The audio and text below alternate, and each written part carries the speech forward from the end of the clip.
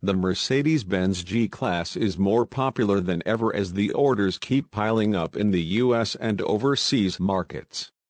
That's not going to change anytime soon.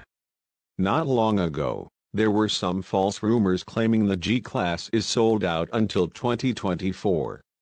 That's obviously very good news for buyers and now there's a new G-Class Special Edition they can fight over. Introducing the G-Class Edition 550, limited to only 200 examples for America.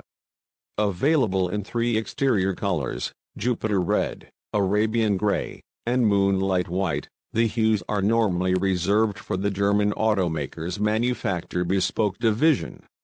Aside from the new colors, this limited run G-Class further receives new badging and several interior enhancements. There's two-tone Nappa leather upholstery with beautiful diamond stitching, active multi-contour front seats with active side bolsters, and plenty of carbon fiber trim throughout the cabin. There are also one of 200, and edition 550 stamps on the front passenger handlebar.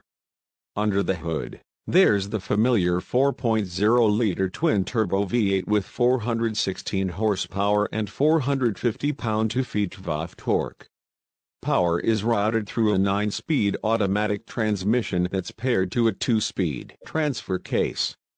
This is not the AMG version but rather an enhanced G550 base model. As of this writing, Mercedes has not released official pricing or when it'll begin accepting orders. Anyone interested is highly advised not to wait and contact their local Mercedes dealer. There are some interesting times ahead for the second generation G-Class. A refresh is supposedly in the works, as is the next 4X4 squared.